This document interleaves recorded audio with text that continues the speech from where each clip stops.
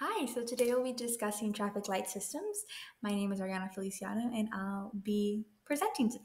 So, um, just a little about me I'm a junior at Liberty University and I'm currently a civil engineering major. So, my introduction to traffic light systems. Traffic light systems are used to control traffic conditions in order to prevent dangerous and illegal traffic movements. Traffic light systems are used in everyday road use, schools, emergency locations, and highways. There are many different types of traffic lights and ways they work, which will be discussed further in our presentation. So, just a little bit of history. 1868 was the was the year that the first manual gas lit traffic system with mobile signs connected to a lever was installed. It sadly exploded two months later and killed a police officer. So those were no longer being built. Then in 1923, so a, t- a bunch of time has passed, the first man- man- mechanical traffic light powered by electricity is built in Paris. And then the first electric traffic light here in the United States is built by Garrett Morgan. Those basically take the world by storm, explode all over Europe and, and even eventually reaches Asia, Asia in Tokyo in 1920, 1931. So then 1931 is when the international regulation on traffic symbols is made just to keep international traffic uh, colors and symbols consistent in each country and they work simultaneously together. And then present traffic lights are everywhere. You guys see them everywhere. So obviously they have overtaken the world by storm. So these are just uh, two pictures of traffic light blueprints. So the one to your left is one built July 29th, 1924. And it's a pretty unique model. It's a, not a very unique model, but at the time it was a very unique model. And as you see, it looks pretty similar to the one built in 1960. And I'm pretty sure you guys have seen styles like these come around. So this is a pretty consistent uh, traffic light build in today's modern world as well. So how are they built? Traffic light systems are built with poles and arms that are corrosion resistant the housing of the traffic lights are built with aluminum. The color lens- lenses are typically made with either a durable plastic or glass. The high powered LED bulbs and reflectors are used to light the colored glass slash plastic. The traffic lights are connected to an underground control box that allows you to change colors accordingly. And the electric components are usually made with a copper material that are surrounded by a plastic material. It's a little slow. So, did you know? Most of you guys who have a car and drive know that red means stop, yellow means color is about to change and to slow down, and green means go ahead. And these were actually adopted from train tr- train traffic light train traffic symbols but the yellow was actually a white so if you see the note under yellow says the first electric traffic light did not have yellow lights. The symbol that the light was about to change was either a loud buzzing noise or a white light with the word wait. So actually one of the first traffic lights, um, it just had a, it basically had just two lights, so the red and the green, and then it would make a huge noise to symbolize that it was going to change colors. But just a little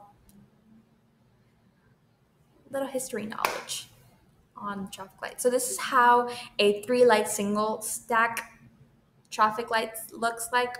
So it has a body or a house. It has the tunnel visor to protect it from the weather and just to allow the re- reflection of the light to be seen clear. And then the face of the traffic light, red, yellow, green. You know, things that most of you guys already know. Then the interior, so this is just a small little video on the interior of a traffic light that I thought was interesting. So actually is a door. Uh, it's a very cool design. So you can just open the door, you get access to the reflector, the light bulb, and the lens. Now the lens is also made of plastic or polycarbonate. Um, they also make these in glass. Uh, they also make metal signals, uh, which will stand up a lot better to weather and uh, and you know of course any kind of impact. So uh, the, the, bulb that this one uses is just a 67 watt traffic signal bulb. Uh, they make a bulb specifically for these.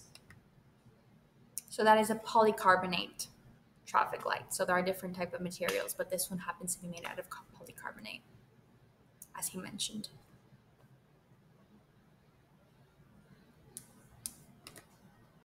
So actually, is a door. So common support poles.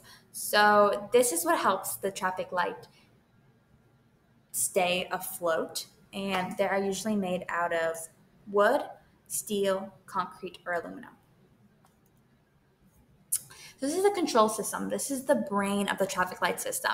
The control system is the power behind the color changes of each light and how long until they make signal changes. The control system is made out of different electrical components and electromagnetic compounds to allow them to safely stop and continue cars. So, two types of control systems fixed time. These control systems are built with timed intervals, meaning that they do not have any sensors or detectors to change color according to the traffic jams. For example, a light may stay green for three minutes, even if no cars are passing by, while the left turn lane is backed up with cars and only have one minute to pass, inevitably causing a slow traffic flow. This control system includes an electrical mechanical controller and a dial timer. And these are being built less and less just because the dynamic control system is winning out uh, because of their convenience. So I'm sorry, it's a little slow. So the dynamic uh, control system is one that operates with sensors. Unlike the time system, this one operates based on traffic needs at a given moment. For example, if the electrical electromagnetic sensor senses your car or multiple cars waiting to turn left, it will stop the other lights and turn green. This is done to prevent large traffic jams like the one given in my previous example with fixed time systems. So basically, it just works on a ratio. So if there's way more cars waiting for the left signal turn, that, me- the, that means that the light will change colors in order to help the people who want to turn left turn left and inevitably help traffic run smoothly and not cause backups. And these are more convenient obviously they because they make us wait less time.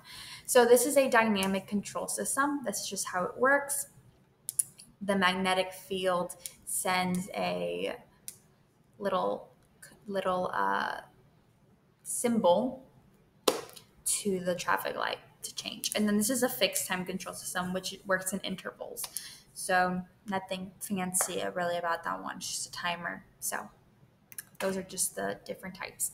And then now to take a look of a more to the build of the traffic light itself. So the traffic light uh, builds, the most common are pedestal, mast arm, unipoles, strain poles, and existing structures. So we'll just see picture. And this is a little drawing of each of them. So you guys probably have seen each of these lights in respective areas pedestal are usually more common in like downtown, older downtown areas, um, and most of these are usually more in modern areas. So the mast arm traffic light system, this is just a picture of it. It's just an arm, just a right angle. And that's it. The unipole traffic light system. So that's how it works there. Then we have the pedestal traffic light system. It's just a small light and then we have the strain pole system, which is which is hung by wires. And this is the traffic light. So from the video, this is the same traffic light built here. It just is, happens to be black. But those ones, the polycarbonate traffic lights, are used on the signal wires just to prevent it from breaking or being too heavy, uh, and so that they do at the end of the day hold up and then existing structure traffic light. So this one is happens to be built off a light.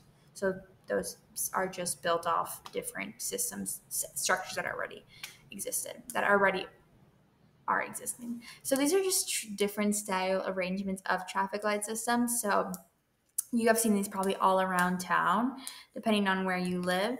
So basically, these are just ways that traffic lights can be arranged.